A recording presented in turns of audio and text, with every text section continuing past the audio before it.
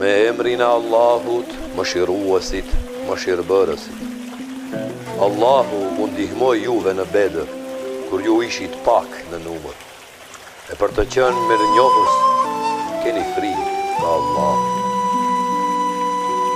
Nga Ibni Abasi rrëfehet se i Dërguari i Allahut në ditën e Bedrit bëri një dua ku në mes të tjerash tha, O Zoti im, të lutem të përmbushësh besën tënde dhe premtimin tënd.